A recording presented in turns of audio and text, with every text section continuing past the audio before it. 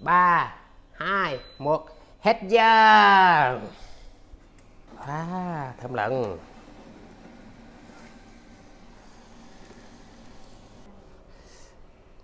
À nè chả rất là giòn rất là dẻo nha ha. Chả không phụ da làm tại gia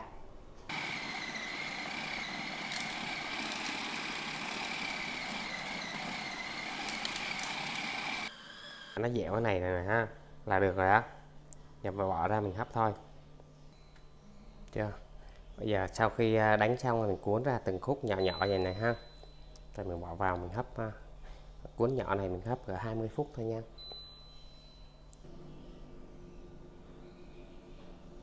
Hôm nay mình hấp chả để à, nấu mì quảng. À, sau khi hấp chả này mình sẽ rang đậu phộng trên cái máy này luôn nha. Mì quảng là có chả và có đậu phộng nè.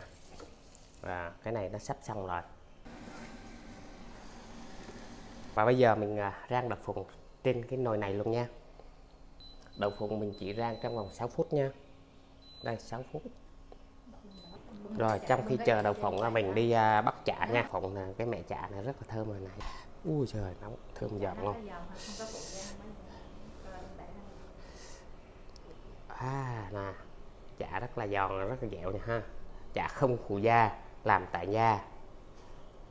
Chả làm tại da, không phụ da rất là ngon nó dẻo quẹo luôn nè không phụ da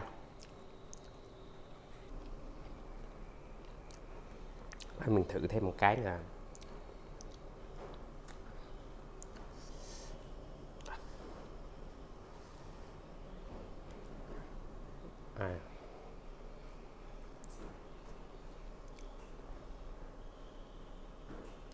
Chả làm tại da không phụ da nhưng mà nó rất rất là đạt này nó dẻo quẹo này ha.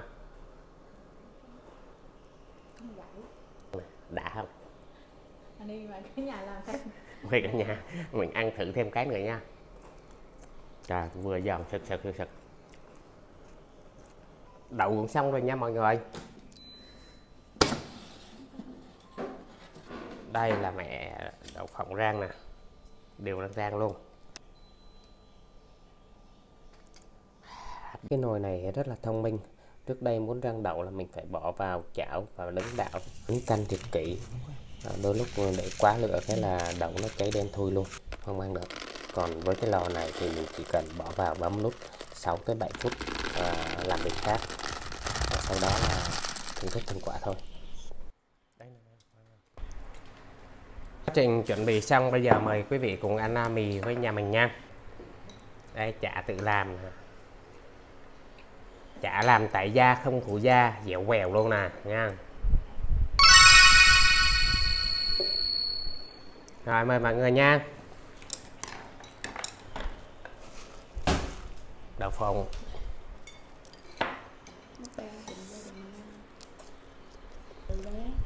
Chả, bữa nay dành rụm luôn.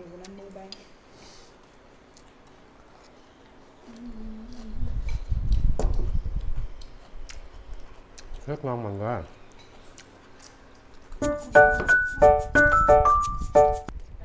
Cảm ơn mọi người đã xem hết video.